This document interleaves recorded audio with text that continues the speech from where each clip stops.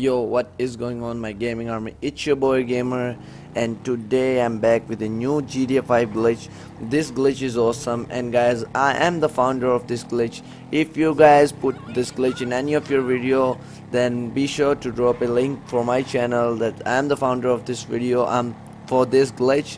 So guys make sure to drop a like if you like this glitch like how how character is looking. It is looking amazing. Look at it feet. There's all invisible legs few part of the legs and the feet. So guys thank you so much for watching my videos every time. And here's the glitch. All you guys need to do first of all get this drop zone outfit glitch. Go in the description. There will be the link to it. And then after you getting it go to this boot section the like bottom so section wear any of any kind of shoes you you must have the invisible part of the legs. As you guys can see i'm wearing every but it works best on the flip-flops. Make sure you wear green flip-flops. That will guys real mind-blowing.